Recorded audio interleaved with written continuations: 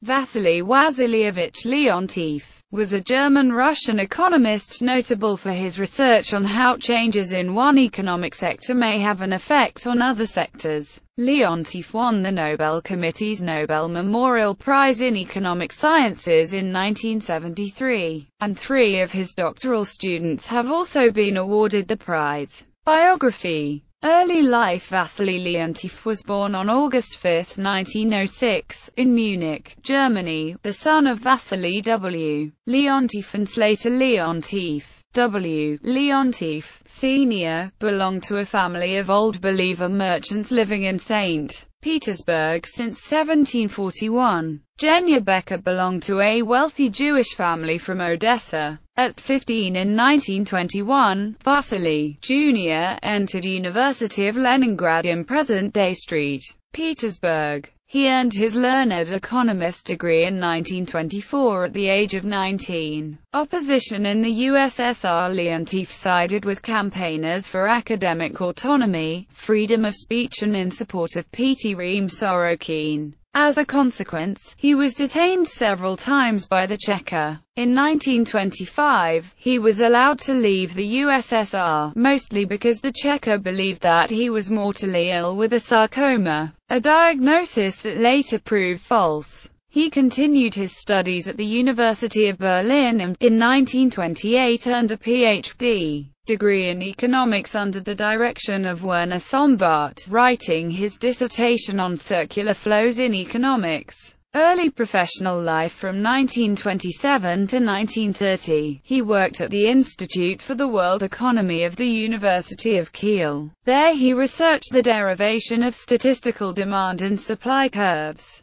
In 1929, he traveled to China to assist its Ministry of Railroads as an advisor. In 1931, he went to the United States and was employed by the National Bureau of Economic Research. During World War II, Leontief served as consultant at the U.S. Office of Strategic Services affiliation with Harvard Leontief joined Harvard University's Department of Economics in 1932 and in 1946 became professor of economics there. In 1949, Leontief used an early computer at Harvard to model data provided by the U.S. Bureau of Labor Statistics to divide the U.S. economy into 500 sectors. Leontief modeled each sector with a linear equation based on the data and used the computer, the Harvard Mark II, to solve the system. One of the first significant uses of computers for mathematical modeling. Leontief set up the Harvard Economic Research Project in 1948 and remained its director until 1973. Starting in 1965, he chaired the Harvard Society of Fellows affiliation with New York University in 1975, Leontief joined New York University and founded and directed the Institute for Economic Analysis. Personal. In 1932, Leontief married poet Estelle Marx. Their only child, Svetlana Leontief Alpers, was born in 1936. As hobbies Leontief enjoyed fly fishing, ballet, and fine wines. He vacationed for years at his farm in West Burke, Vermont, but after moving to New York in the 1970s moved his summer residence to Lakeville, Connecticut. Leontief died in New York City on Friday, February 5, 1999 at the age of 93. His wife died in 2005. Major contributions Leontief is primarily associated with the development of the linear activity model of general equilibrium and the use of input-output analysis that results from it. He has also made contributions in other areas of economics, such as international trade where he documented the Leontief paradox.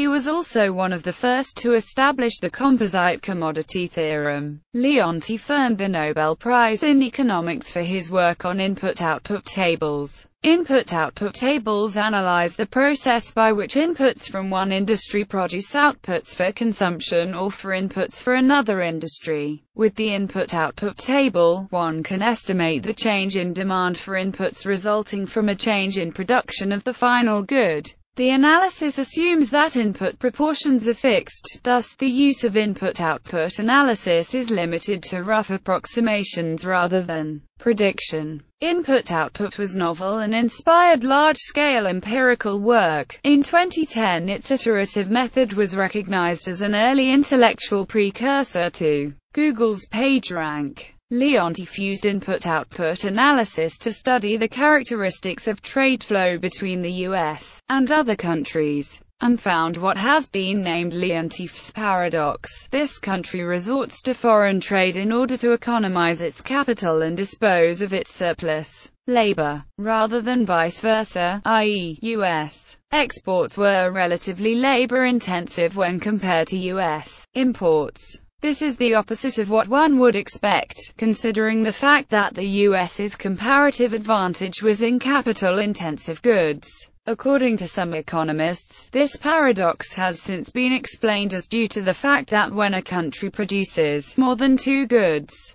the abundance of capital relative to labor does not imply that the capital intensity of its exports should exceed that of imports. Leontief was also a very strong proponent of the use of quantitative data in the study of economics. Throughout his life Leontief campaigned against theoretical assumptions and non-observed facts. According to Leontief, too many economists were reluctant to get their hands dirty by working with raw empirical facts. To that end, Wassily Leontief did much to make quantitative data more accessible, and more indispensable, to the study of economics. Publications 1925. Balance Narodno Gojostjajstvo SSR. In planovo Gojostjajstvo translated into Italian in Spolberen, as Il bilancio dell'economia nazionale degli US, in La strategia sovietica per sviluppo economico 1924-1930, Giulio Einaudi, editor. Torino, discussing the Soviet balance of the national economy, 1923-4. 1928. Die Wirtschaft als Kreislauf, Tübingen. More. Republished as The Economy as a Circular Flow, pp. 181-212 in Structural Change and Economic Dynamics, Volume 2 Issue 1, June 1991. This translation is abridged to avoid controversial statements. 1941. Structure of the American Economy, 1919 to 1929. 1953. Studies in the Structure of the American Economy. 1966. Input-Output Economics. 1966. Essays in Economics. 1977. Essays in Economics. 2. 1977. The Future of the World Economy. 1983. Military Spending. Facts and Figures. Worldwide Implications and Future Outlook. Co-authored with F. Duchin. 1983. The Future of Non-Fuel Minerals in the U.S. and World Economy co-authored with J. Koo, Nasar and I. Sohn. 1986.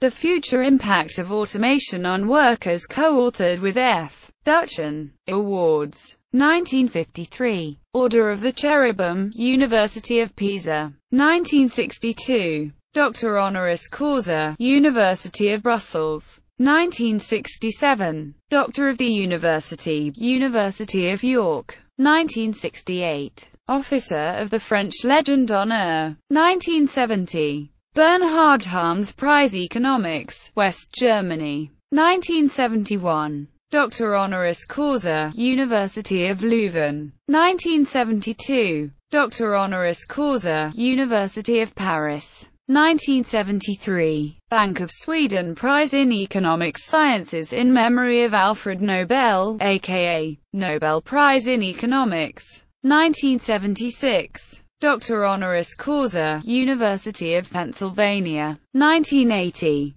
Doctor honoris causa, University of Toulouse, France. 1980. Doctor honoris causa, University of Louisville, Kentucky. 1980. Doctor of Social Sciences, University of Vermont, 1980. Doctor of Laws, W. Post Center, Long Island University, 1980. Russian-American Hall of Fame. 1981. Karl Marx University, Budapest, Hungary. 1984. Order of the Rising Sun, Japan. 1985. Commander, French Order of Arts and Letters. 1988. Doctor honoris causa, Adelphi College. 1988. Foreign member, USSR Academy of Sciences. 1989. Society of the Optimate, Italian Cultural Institute, New York. 1990. Doctor honoris causa, University of Córdoba, Spain. 1991.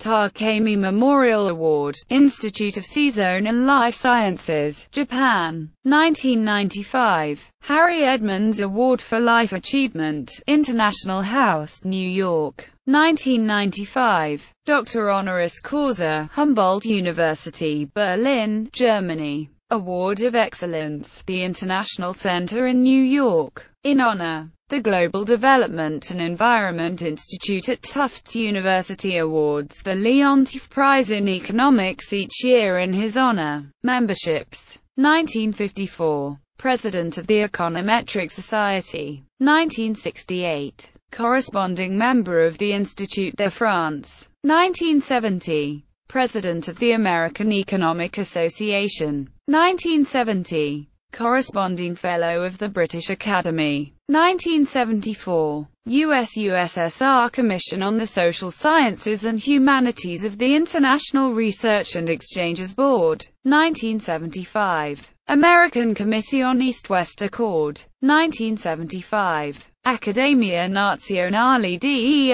Lincei, Italy. 1976. President and Section F of the British Association for the Advancement of Science. 1976. Honorary member of the Royal Irish Academy. 1977. Fellow of the American Association for the Advancement of Science. 1978. Commission to study the Organization of Peace. 1978 to 1986. Board of Trustees of North Carolina School of Science and Mathematics. 1979. Century Club, Disambiguation Needed. 1979. Issues Committee of the Progressive Alliance. 1980. Committee for National Security. 1981. Board of Visitors, College of Liberal Arts, Boston University. 1981. Board of Editors, Journal of Business Strategy. 1982. International Advisory Council of the Delian Institute of International Relations. 1982. Accademia Mediterranea del Scienze, Italy. 1983. Board of Advisors, Environmental Fund. 1983. Board of Directors, Tolstoy Foundation. 1985. International Committee, Carnegie Mellon University. 1990. Academy of Creative Endeavors, USSR. 1992. International Charitable Foundation, Russia. 1993. Academy Europeana. 1993. Honorary President of the World Academy for the Progress of Planning Science, Italy. 1993. Member of the Académie Universelle des Cultures, France. 1994. Fellow of the New York Academy of Sciences. 1995. Member of the International Leadership Center on Longevity and Society, Mount Sinai Hospital, American Philosophical Society, American Academy of Arts and Sciences, International Statistical Institute, Honorary Member of the Japan Economic Research Center, Tokyo, Honorary Fellow of the Royal Statistical Society, London, Trustee of Economists for Peace and Security. Quotes. Much of current academic teaching and research has been criticized for its lack of relevance, that is, of immediate practical impact. The trouble is caused, however, not by an inadequate selection of targets, but rather by our inability to hit squarely on them, by the palpable inadequacy of the scientific means with which they try to solve them. The weak and all too slowly growing empirical foundations clearly cannot support the proliferating superstructure of pure, or should I say, speculative economic theory. By the time it comes to interpretations of the substantive conclusions, the assumptions on which the model has been based are easily forgotten. But it is precisely the empirical validity of these assumptions on which the usefulness of the entire exercise depends. A natural Darwinian feedback operating through selection of academic personnel contributes greatly to the perpetuation of this state of affairs. We move from more or less plausible but really arbitrary assumptions, to elegantly demonstrated but irrelevant conclusions. The role of humans as the most important factor of production is bound to diminish in the same way that the role of horses in agricultural production was first diminished and then eliminated by the introduction of tractors.